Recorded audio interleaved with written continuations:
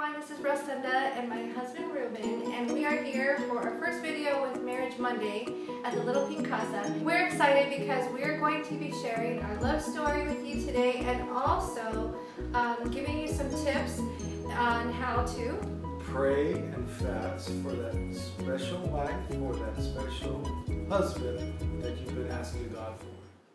Important that as couples we actually go back to remember how we first fell in love, and this is our um, kind of story of how it happened for us, but take in consideration for you as a couple um, to take time and actually just sit and remember how you first met. What are the things that you and your spouse uh, liked about each other that it made yourself, you know, realize that he or she was the one? First of all, I'm going to have my husband share because this is the first time that he is sharing um, in our Marriage Monday post. I was praying and fasting. Not only was I, was I praying and fasting, but my mom and dad were praying and fasting uh, for me to have a wife.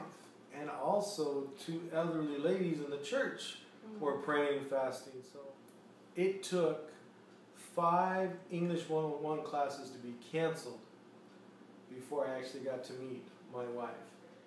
I know I have to take this English 101 class. Why, God, are you canceling all these classes? And, but God had a reason. Yes. God had a purpose.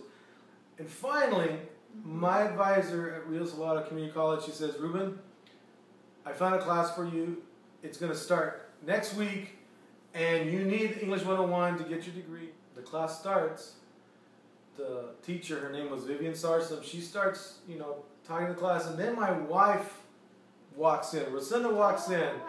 She walks in, and I'm looking at her, and I'm like, Lord, have mercy.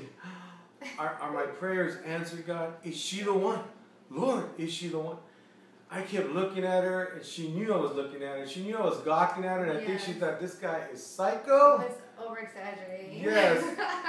I just couldn't get my eyes off her, and and I mean, to me, I just thought she was the most beautiful woman I'd ever seen. Aww. And she, you know, her hair, her face, her, her lips, her smile, her eyes. I mean, she just looked so beautiful to me. And I was like, God, is she the one? Is that her? Could she be the one? we all had to stand up and introduce ourselves. And I never get nervous for anything. Mm-hmm. My legs were shaking when I stood up. yeah. And I I get up and I felt my knees well, were just knocking. see them shaking. Right. So, but right. I'm sure you But I felt that they were shaking and I'm saying, you know, I, I you know, I sing, I'm a drummer, I'm a percussionist, I'm a ventriloquist, and I'm looking and I'm like, oh my gosh, I'm so nervous thinking, I'm gonna die. And then she gets up and she starts introducing herself, and I'm like, I was nervous. Yes. She says, Oh, yes, I've been to Europe, and I've been to London, and I've been, I've been to Austria, and I've been to uh, Italy, and she's saying all these places. I'm like, oh my lord, she must yeah. be rich. She thought I was rich. Yeah. and I'm like, afterwards, I just said, God, I have mm-hmm. to speak to her, because yeah. she mentioned London. Yeah. She's been to London, uh-huh. England. And I've always wanted to go to London, England. And I'm like, Lord, I have to speak to her. I have yeah. to talk to her. So Vivian Sarsam had all of us yeah, write. teacher. Right. She had us all write an essay, and we had her. I just wrote anything, and I turned it in, and I waited for her outside. Yeah. Meanwhile, I wrote like this beautiful poetic essay that was like yes. all about my trip and everything. I didn't care. But, but I looked up, and then I was kind of disappointed because he was gone already, right. and I was like, oh no, because I, I was so into writing because I love writing, and then I realized, oh, he's gone. Oh well, I'll see him probably next time in class, right? Pacing back and forth, and I'm, I'm, I'm not saying I'm, I'm realizing, Lord, I don't know what to say to her. How do I how do I talk to her? Yeah. What do I say? I don't know what to say. Oh, maybe maybe maybe I'll just say to her I've always wanted to go to London. Yeah. Can you tell me how that London trip was? Yeah, Comes that out. was a good pickup line actually, because yeah. it was true, and he really wanted to know. Right. So. I was being honest. So. And it wasn't like, "Hey, baby, you know, what's your right. number?" she comes out, and then she sees me, and I I go, Rosenda, mm. I've always wanted to know about London. Mm could you tell me about your Yeah, trip in how London? was How it was? And this is what she tells me. She actually looks me in the eye and she says, Hold on. I'll be right back. I gotta go to the restroom, okay? Oh, And I'm, and I'm like, oh no, I messed up. So she takes off, she leaves me standing there. She Yeah. takes off, goes to the, the, the women's bathroom. Yeah, yeah. And I'm there like, God, did I just blow it? Oh, yeah, Lord. he thought I totally was ditching him. Yeah. It just so happened that it was the high school that I had graduated from just two months before, three months before. So I knew the high school, and he knew that I knew the high school because I just said that I just graduated from the school that we were at, but this is my first college class. So he was thinking, oh my goodness, is there some? Is she gonna like leave me? Is she ditching? Is This is her way to get away from me. I was in shock because I was like, he's not. I looked up when I was done with my essay and I'm turning it in. I'm like thinking, oh, he's gone. You know, he was kind of cute, but oh well, I guess, you know, I'll see him next time in class next week because it was a once a week class. And so I was mm-hmm. like, okay. And then I was like already in my mind thinking, oh well, okay, I'm ready, let's go. You know, let's go home. And then all of a sudden, I turn the corner and we get out of the classroom and he's like standing there. and I'm like, oh my gosh. It's like, oh my gosh, what do I do? And he starts talking to me and he's like, you know, so the first thing I thought of was like, I need to go recollect my thoughts and figure out what I'm gonna say because I don't know what I'm doing. So I ran into the bathroom as my decoy, as my way to get away, just to think, wow, this is exciting because this is kind of like what I wanted to happen, and it's actually happening, you know. Right. Because he had the courage to to stop and talk to me. And in high school, and you know, up to this point, a lot of um, you know boys they didn't do that with me. They were always like afraid or something. So this guy was like really impressive to me. Ruben was so like, oh my gosh, he's actually gonna. He, he's talking to me. So when I go to the bathroom, I just basically looked in the mirror and I was like, what do I say? You know, I'm talking to. What do I say? What do I say? And you know, what do I do? Oh my gosh! And and then there was a point in my mind was like, is he the one? You know, thinking like, oh my goodness, like why would I even think that? You know, we just I don't even know this guy. And then I walked out. I collected my books and I walked out real calmly this time, like.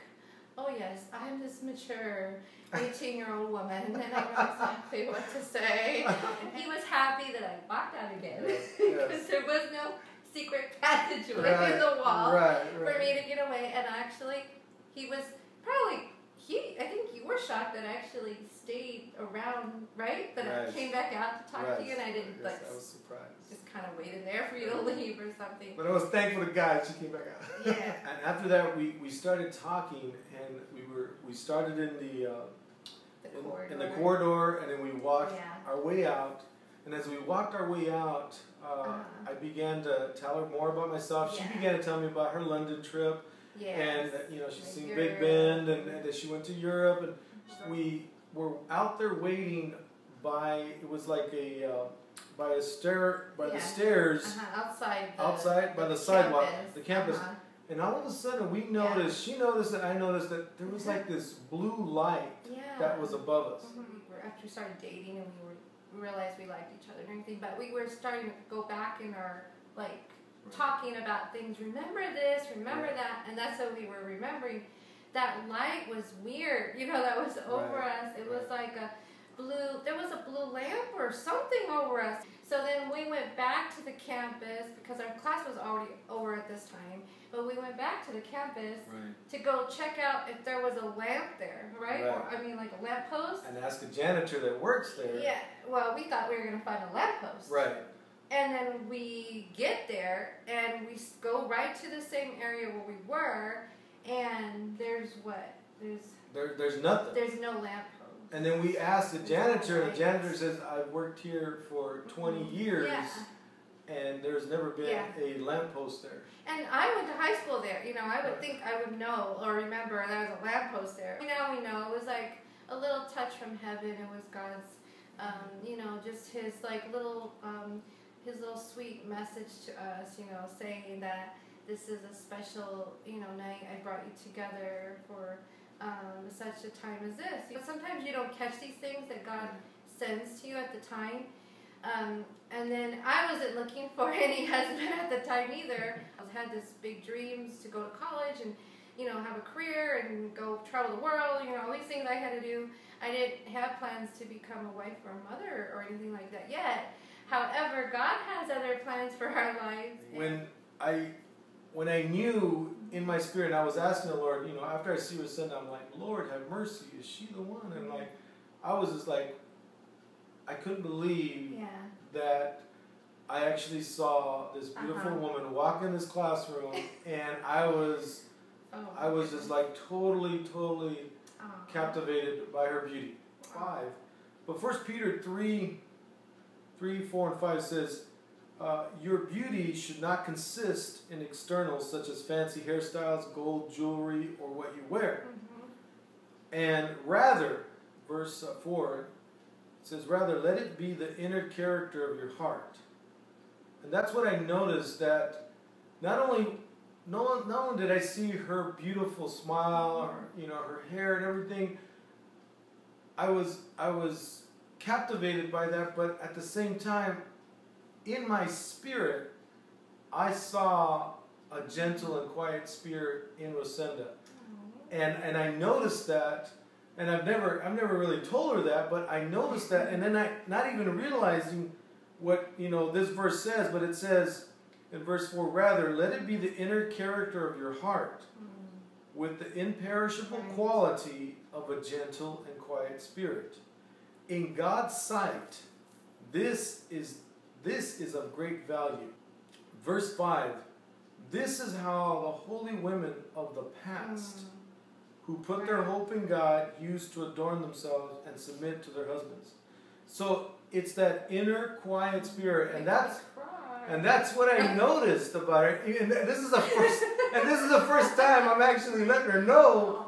I mean, I, I've always shared the testimony, but that my spirit knew that she had an inner, you know, that inner character and that inner gentle and quiet spirit within her, and and I knew it was a God thing. When he met me, I wasn't even a Christian yet. I mean, so for him to say that about me at the time was like, well, that's you know, that's something that um, you know is very special because I mean, even though I wasn't serving God at the time, he still could see maybe the part of me that was that was there and that had potential to grow into a godly woman, I guess.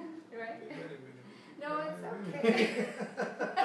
I just want to I just want to say that after praying and fasting and seeking the Lord and have a, Yeah. having others pray with me and fast with me, I Mhm. actually found uh, the woman of God that I had been Mhm. asking for. yeah. I asked specifically to God. I go, God, please let her be able to sing. She sings. Uh, let her let her be able to do uh, puppets with me because you know I'm a ventriloquist and she does puppets. I, I have a puppet named Chango. She has a puppet named Shanae. And I go, God, let her back me up in the ministry. Yes, and I when- wasn't even a Christian yet, right? Right, I right. mean, that's the crazy thing. He's Right. praying for like this godly Christian woman, and I, and I'm not. God knows that, and I'm not even. You know, I'm not even. I'm not. I'm none of that yet. Okay. Um, you know, you need to pray and, and fast if you're looking for that specific husband or wife, Amen. or if you're not sure, or um, you know, or you're dating someone right now, or even if you're married, you know, we have to keep praying and fasting. Whether before we get married, we find the right one, and also during our marriage. It's the most important time. He was fasting, he was praying. He asked other people to fast and pray with him. Amen. The second thing was be specific. He was specific what the Right. things that he knew he was looking for in a Right. wife. And God has such a sense of humor because I didn't have any of those, you know, I didn't have that. I maybe I had that inside of me that I had it hadn't been unlocked yet. Um, but yet I wasn't, you know, manifesting those things, qualities yet, because I, little by little, as we were dating and as we were engaged, and gave my life to the Lord, and um, during those seasons of me growing in the Lord and all that, all these things started to come forth in my life. Amen. Almost like He was like almost prophesying that over me too, you know, so that I would become that woman of God. And that's so important, I think, for husbands when they pray for their wives. And glory be to God. God knew what he was Yeah. doing. He knew that there was a specific reason why Mhm. Rosenda and Ruben were going to meet in this English 101 class. Yeah. That's why he canceled five of my classes to do it and to get me to Yeah. go to the right class to be with her. He had to come to the place where I lived. You know, he he God was he was asking and praying for a wife, but yet God had to take him to the wife's you know sit to his to his future wife's city. You know, he had to get him out of the box. So it's almost like you have to open your mind up and get out of the box. God might not just put it right there in your path, right? Um, or dingle it right there. Oh, there it is. You have to actually probably go go be led of the spirit. Like you had to go Right. to different And classes. seek it, right? And your even your his counselor advisor was in on this whole Right. thing. You know. God had her in on this to tell him and persuade him Right. get over there. You have to take this class. Right. And so he's like, I don't want to, but you know, he, he didn't realize that this was God answering his prayer and fasting. exactly. It didn't look in the way that he thought it was going to come. He thought he was probably going to meet some girl at church or something, you Right. know? but the girl of his dreams wasn't in church yet. So And she hadn't even known the Lord yet. Yeah. And I also thank the Lord because I actually got to introduce my wife to our Lord Jesus Christ on uh, on Good Friday, Yes. and she got to she got to you know give her heart to the Lord, Yeah. and So during She- our. Yeah, during our dating time, she got she to gave her life. Minister Right. witness to me too. Like you never know what how God's gonna work it out, Right. and so we just have to trust Him. Amen. That's always the bottom line, I think, right? Amen. Is Amen. trusting Him Amen. for everything. So, so go back to your love story of when you first met. Um, we talked about that of going back to when you got married. You know, remember these times um, to, to be able to reflect and to rekindle that Amen. what you loved about uh, your husband, you know, to see how far you've come Right. and see how far God has brought you through the years. Reminisce those cherished moments that when you were first dating and, and everything that that brought you to your, Yes. your wife or to your husband. Uh-huh. It will it will bring so much joy uh, Mhm. and peace in your marriage. Yes. Some spouses uh, tend to become more li- alike the longer they're married. Okay? So they tend to look alike Oh, the longer they're married. Has this been the case with us, you think? us, I I wouldn't. You I- think we're looking alike? I, yet? I don't yet? not yet not yet I, I don't think so because I It's not rubbing off. it's not rubbing off and I, I think my wife still has that unique style and it's it's totally it's Uh. totally she's totally her and I'm still totally me. Yeah. And I guess maybe that's more like it. Like you kind of look like you look like each other, more like a brother sister type thing. You know, like right. so. I don't know. I think we could pose for brother and sister. Yes, What do you think? yes, I think so. but thank God we aren't. Yeah. Thank you for joining us today for our first Marriage Monday uh, video. Just like to uh, do a little bit more of these for you to be able to interact. If you have any questions or comments about any of what we talked about or want to know more, comment below, leave us a, a little um, note, and tell us what you think. We Want you to be blessed today and this week as you go in your marriage. And have a great day. Bye bye. Bye.